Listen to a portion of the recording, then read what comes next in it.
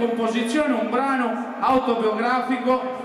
vulcanico che fa parte del mio ultimo cd e ve lo dedico con tutto il cuore